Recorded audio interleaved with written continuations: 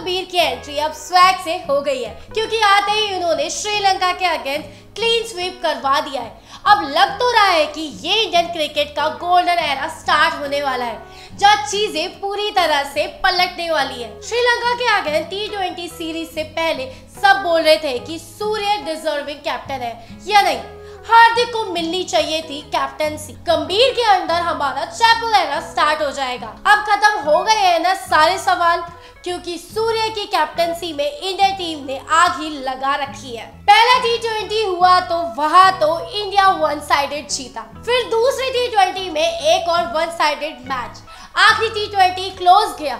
Super over हुआ but ultimately जीता किसने? हमने।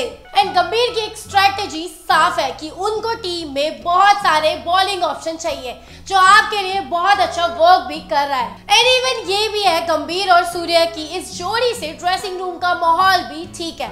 इवन सूर्य और हार्दिक के बीच भी कुछ बिगड़ा हुआ नहीं दिख रहा है। और हार्दिक सूर्य की कैप्टनसी में खेलने के लिए कंफर्टेबल दिख रहे हैं। मानते हैं कि गंभीर को उनके करियर के दौरान इतना क्रेडिट नहीं मिला।